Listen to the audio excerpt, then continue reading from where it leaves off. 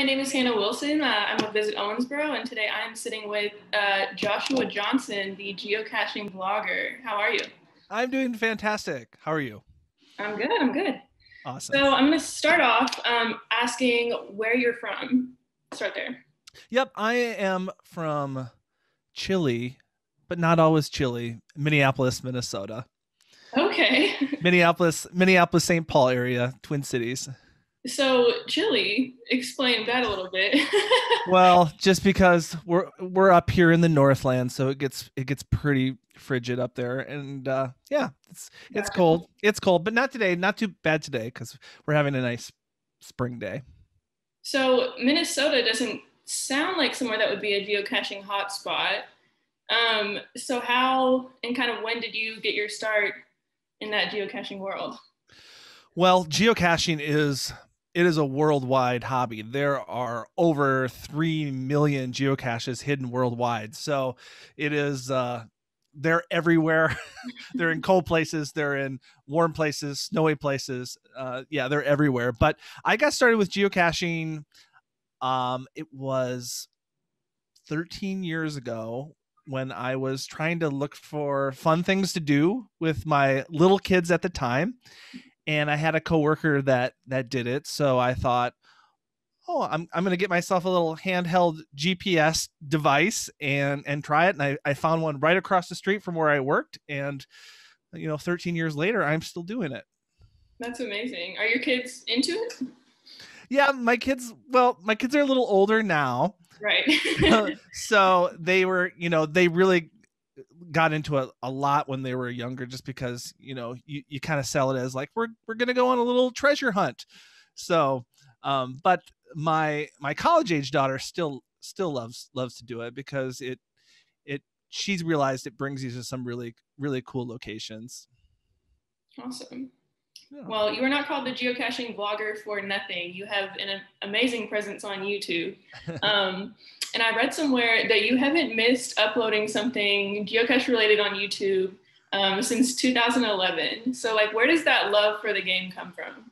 Yeah, well, it's uh, it's yeah, it's quite. I'm a little bit stubborn. I I I set a goal at one point to to create you know create a at least one new geocaching venture every week and it, yeah it's been going strong for for 10 years. So I, I guess part of it is my passion for geocaching but also my my passion for uh, putting out geocaching content on youtube.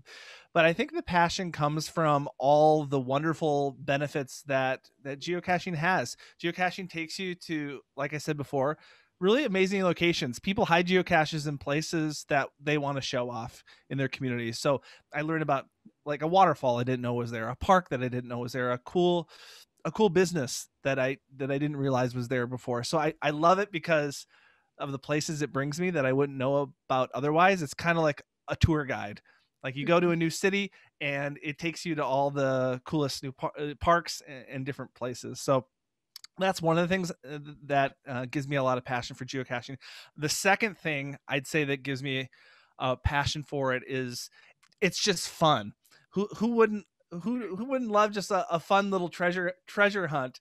Uh, the, the feeling you get when you sort of discover like, oh my gosh, this thing has been hidden here, and I've walked about by this park every every day, and I never knew that there was this whole other world where people hide hidden hidden containers. So so uh, I, I think just the exploration part of it is really really cool. Yeah that's awesome. So you're telling me there's a world i'm unaware of that i should should dive into i guess. Yeah you are a muggle because that's what that's what they call people who are not aware of that there's this geocaching world out there but actually because you are talking to me right right now you are entering the world of geocaching and out of the world of muggles so Love congratulations thank you, thank you. um, so your videos are so much more than blogs sometimes. I mean, you, you are not just a star geocacher and vlogger, you are an actor, you know? Yeah. Um, you like come to life as your characters and you're really dedicated. Uh, so I was wondering what inspires that kind of content? Where does that come from? Well, yeah, you're right. I, you know, with, with YouTube, I always try to make it as entertaining as possible. And I was in college, I was a, a theater major, so that's maybe a, a, little bit where the acting acting comes from. Sometimes sometimes I've had some geocaching videos where I've gone geocaching as as a a different characters. Most of the time, I'm just myself. But one of the things I think that uh, is really cool about geocaching is that the creativity of the actual geocaches. People create geocaches that are are different themes. So, for example, um, my my friend had a, a, Doctor Who TARDIS geocache, and, and, that video was all about time machines. Uh, I visited Mount Airy, North Carolina, which is which is uh, kind of the home place of the you know Mayberry, the Andy Griffith show. So I I ran around town and I I did that whole geocaching adventure as as Barney Fife. And the funny thing about that is when I did that, the the people uh, that were watching me film that they thought I was like employed by the town to like impersonate impersonate Barney Fife. So yeah, so I try to keep it I try to keep it uh, interesting, but the geocaches in itself and the locations kind of I guess spark the creativity to make it you know to make the videos interesting. Right. So you talked about there being different types of geocaches. Uh, what makes a really good geocache find? Um, I would say uh, three things: a really cool location. So if it brings me somewhere awesome, that's really fun. Another great geo, uh, uh, another great thing that makes geocaches great is who you're with.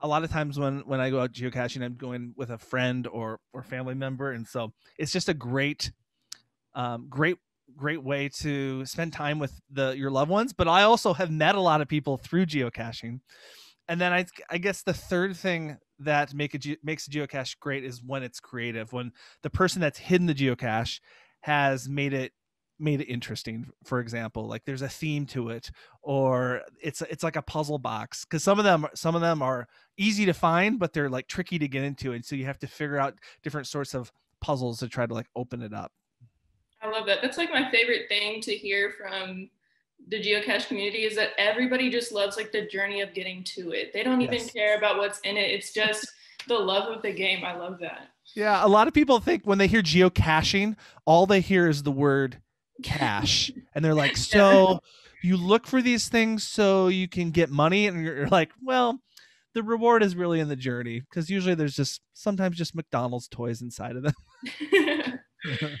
um, so I've also heard that there are like levels of difficulty to the geocaches. Mm-hmm. Um, are there different kinds? Maybe you already answered that question, but yeah, uh, there are lots of different official kinds. So on the geocaching.com website, or if you download the app, you will see that on the map there will be actually different kinds. So there's like a traditional geocache where it's just like you get to the place and there's a container there and you find the container. But there's also um, uh, geocaches called mystery caches, which you have to solve some sort of puzzle, either like online or on the website, or like when you get there. That kind of like I was describing before. There's virtual ones where the the location uh, doesn't suit itself to hide a container there, but it's a really significant a uh, place. So when you get there, you'd have to like answer a question about the geocache um, there's multi caches so you go to the first location and then it gives you information to go get the coordinates for the next location. So you go to multiple locations and then when you get to the end you get the you get the geocache. So yes there there's lots of different types and honestly i could go on and on about the technicalities of it but then this interview would seem really nerdy and i'm doing my best not to sound like a nerd but i'm probably failing oh nerd out it's fine Um, what is the coolest video you've gotten to create? I've done some really cool videos in really cool locations. I've I've been to Germany twice. And by the way, Germans, they talk about geeking on in geocaches. Like some of the coolest geocaches in the world are in Germany. Uh, geocaching is very popular in Germany. I've got to go to Brazil and there's a very famous famous geocache in Brazil, like in the jungle, and I've got to I got to go there as well. So I've got I've got to go to some like cool exotic places, but I guess the one that's sticking out to me right now is there's a series of geocaches, sort of like a multi-cache in Woodstock, Illinois. And the reason that place is famous is because that is where the movie Groundhog Day was filmed. So I decided for for Groundhog Day to actually stay in the bed and breakfast where Bill Murray woke up in the movie, and I experienced a geocache um, like it was Groundhog Day. So if you watch that video on my YouTube channel, you'll see that I I found the same geocache over and over and over and over again, and I was essentially stuck in that town finding the same geocache over and over again. So that yeah, that was a really fun video to make, and uh, the people in Woodstock probably thought I was a little bit crazy for filming the same scene over and over and over in different ways. about the geocaching community, um, you know, I talked about how I, I love that it's all about the journey. I mean, it, and it feels like you all have a really close knit uh, community, even though it's kind of something you can do by yourself with your friends, with you know people you meet just because you all love geocaching, uh, which is really cool to me. Um, what's something unique, or maybe just your favorite thing, like about that community of people? You're right. Um, the geocaching community is pretty uh i guess pretty tight knit and i think it, it is a very niche hobby. So while geocaching is worldwide with 3 million geocaches hidden worldwide when you go to major geocaching events um, you, you you start seeing some some of the same people and so every time you go to it it's just kind of like a, a little family reunion a little geocaching family reunion and i just i just love that about it and and i just love the um the diversity of ages. Um, you know, there's geocachers that can be kids and families, all the way to folks that are that are elderly. So it it uh, is a hobby for is a hobby for everyone. And when you go to a geocaching event, that's very clear. Yeah, and I think that's why it's picking up um, in popularity. Uh, and lots of people are just now discovering it. Um, so, what would be your advice to a newbie? Like me. yeah. Um, well, the, everybody asks like, how do I get started geocaching? First of all, so if we want to go very, very, very basic, um, the cool thing is when I started geocaching, you had to have like a dedicated device, like a handheld GPS. Because the crazy thing is, you're right, geocaching is picking up, but it's 21 years old. It's been happening since the year 2000, and actually, uh, COVID COVID has has caused it to probably grow because people are like, I need a socially distanced activity outside, and and uh, what a what a great great thing to get involved with. But download the geocaching app to get started. It will uh, it will help you through your first finds, like the official geocaching app, and it's free to get to get started. And then and then when you go off to find your first geocache, um, I would encourage people to look for for ones that are larger in size because they can be they can be tiny tiny, and uh, look for something a, a little bigger because everyone it'll tell you what the size is, and then it'll also tell tell you the difficulty, how hard it is to find it, and it'll also tell you the terrain, how difficult it is to get to. So it's it's a star. One star is the easiest. Five stars the most difficult. So start with with um, with an easier one. And then the final thing, there's a lot I could say about this question, is if you're struggling, because a lot of people struggle because they don't even when they go and find their first geocache, they don't even know what they're necessarily looking for because you have to. This is going to sound really nerdy. You have to develop some geosenses. Mm-hmm. I got so, you. so uh, when you get to the area, you always think to yourself, okay, if I was to hide something here, like where would I hide it? And that's sometimes that's usually kind of helps you like figure it out. But people should not be shy to try to reach out to the person that hide, hid the cache. So so on the app, it'll tell you, it'll show you the name of the the geocache name of the person that hit it. You can actually contact them if people are struggling and say, hey. Uh, this is my first few geocaches. I'm really struggling. Can you give me some sort of hint? And the geocaching community is always very gracious. That people want people want others to find their geocache, so, and they're still friendly. They they'll be willing to help. So those are a few things. Yeah, awesome. I will take your advice. um, so geocaching is on the rise, but that's why we're really excited as Visit Owensboro to host MOGA. It's one of the oldest and largest geocaching events in the world, uh, and that'll be on May and May 28th to the 31st. Um, so, what do you think of big geocaching events like MOGA versus that kind of traditional route?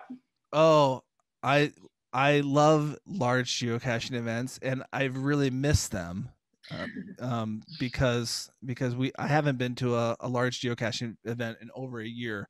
And again, like I said before, I, I do love it because it's like a it's like a geocaching again family reunion. A lot of a lot of my friends. Uh, that's the only way I see them. I like people come for larger geocaching events. They come from all over the world. I have I have friends from uh, Germany, Australia, France, and because people will you know geocaches they're so diehard they will they will come from all over and for me for me it's really an opportunity for me to meet face to face the people that watch my videos to see faces behind the comments um, but I love there's a lot of diversity in large geocaching events. So uh, an event like Moga, there's a competition aspect of it. So there, which I've been to Moga several times, where you actually like you get a set of coordinates and you and you it's an actual sort of race, and it's it it's it for some it can be very competitive, and other people it can just be kind of a fun little thing. Um, so I love that aspect of it.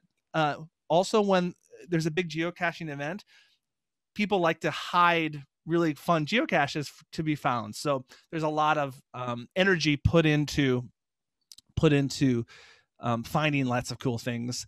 And another thing is that they're often hosted by really cool cities, often cities that I've never visited before. So it's for me for travel, it's an excuse to get me to explore a new city. Yeah, that's my favorite part. That's why I'm yeah. to get into it. um, and Moga this year is going to be in you know a downtown city kind of setting in Owensboro, um, which does offer a lot of awesome spots to discover. But is that different uh, from a typical geocaching event, or are they really wherever, whenever? Yeah, it's it's a real variety. You know, I've been to geocaches, uh, geocaching events in in big cities like Cincinnati, and I've been to big geocaching events like in the middle in the middle of a giant state park. So there is a lot of variety. I, I mean, I've I've been to several large geocaching events. So being in a, a city area um, is unique in in some ways, but it's really unique because of the things that are in that city. So as I think about Owensboro, uh, the Bluegrass Hall of Fame uh, sounds amazing. The the Riverwalk area, um, Owensboro also has a, like a geo tour, which is a a, a set of uh, designated uh, geocaches where if you complete them, you get like a little commemorative coin. So yeah, there's a lot of variety in big geocaching events, um, and everyone's different. You know, sometimes there's entertainment, so I, I love that. Great places to eat, places to drink, those kinds of things. So yeah. All right, Joshua. Thank you. Um, I do want to push out. You know, Moga 2021. Owensboro, May 28th through the 31st. Um, and I do want to make sure anybody interested in coming to Moga knows about the opportunity to save a little money on your stay, uh, get an extra special cash by booking through the mogageo.com website. Um, they're offering special rates to the attendees that will also earn a commemorative coin for Moga 2021 uh, and a chance to win $100 Marriott gift card. So visit that Very website cool. if you're interested. Yeah. Awesome. And I will be there. I will be there. Exactly. And you will be there. So if you're watching this, I would love to, I love to meet you. And, uh, I've been to Owensboro once before, and as somebody has been there, it, the city has a lot to offer. Uh, great geocaching, and if you're watching this and you're like, I've never geocached before, like it's not just for diehards. It's a very welcoming crowd, and uh, we'll we'd be love to we'd love to welcome you to our awesome hobby. Yeah, absolutely. Thank you so much for being here. Yeah, thanks, Hannah. Appreciate it.